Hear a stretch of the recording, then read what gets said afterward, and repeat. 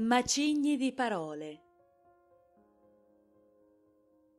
Le parole sono solo macigni che non possiamo spostare, che scolpiamo nei nostri pensieri. Sono statue di bell'aspetto, eppure scadenti copie della verità dei nostri cuori.